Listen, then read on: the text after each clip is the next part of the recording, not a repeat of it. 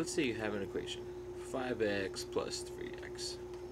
Well, here we're adding, and what we're adding is these two terms. I think of 5x, well, this means 5 times x, but you can also think of 5 times x as x plus x plus x plus x plus x. In other words, 1, 2, 3, 4, or, excuse me, 5 x's. And likewise, you can think of 3x as another 1, 2, 3 x's. And we're adding both of them. So really we have 3 and 5 x's, and now we have 8 x's. And really what we're doing there is a shortcut. You can think of adding the coefficients, which are these numbers right here. The coefficients are the number you're multiplying your variables by. So for example, let's say we had 2x plus 11x. Well, the coefficients are 11 and 2. We have 2 x's here and 11 x's there, so now we have a total of 13 x's.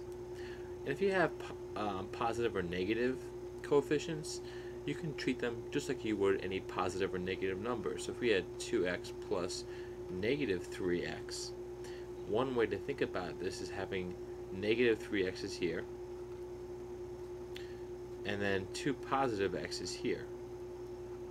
Well, when you add 2 and negative 3, well, the, the positive and negative x's cancel out, they're opposites, and what's left over is the answer, which is minus x. Minus x is just short for minus 1x, and that makes sense. I've been saying that you add the coefficients, well 2 plus negative 3 is negative 1, so 2x plus 3x is negative 1x, or negative x. Subtraction works the same way. If we had 5x minus 3x, the answer would be 2x's. If you take 3x's from 5x's, there are 2x's left over. And if you had something like x minus negative x, this might seem confusing, but let's break it down. x here is just 1x. And then what you're doing is you're taking away a negative x or negative 1x. When you're subtracting a negative 1, you're really adding. If you think about it on the number line, if I had the number 1 right here, if I took 1 away, I'd go to the left, to 0. But I'm taking negative 1 away, not positive 1, so I go in the opposite direction. So 1 minus negative x is really 1x plus x, or 2x. Now, so when you're dividing, you're actually following similar principles. Uh, however, one thing you should think about is that not only do you divide the coefficients, 10 divided by 5 is 2, but any number divided by itself is just 1. So the answer here is 2.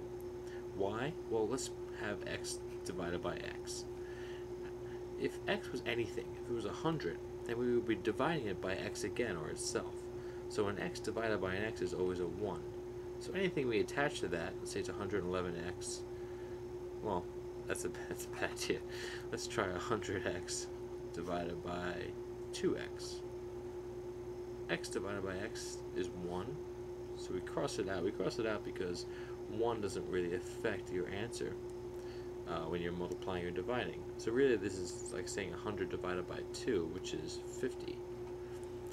Now, multiplying, you can treat it as 10x times 5x. Well, let's just talk about x times x. If you have x times x, that is a short way of writing x to the second power. So when you're multiplying these two expressions, you multiply 10 times 5 to get 50, and x by x to get x squared. but this is not a linear equation, and this video deals with linear equations. How do I know it's not linear? Because the exponent is bigger than 1. Other things we might have to deal with are expanding and factoring some kind of linear equation. So let's say we had 10, and then in parentheses x plus 2. What does this mean? This means 10 times x plus 2. And we need to use the distributive property to solve it, or simplify it. So 10 times x is just 10x. This is the same exact, this means 10 times x. And then, well, we're distributing multiplication over addition. So plus 10 times 2, which is 20. So this would be expanding by using the distributive property. And to factor, let's say we had 2x plus um, 10.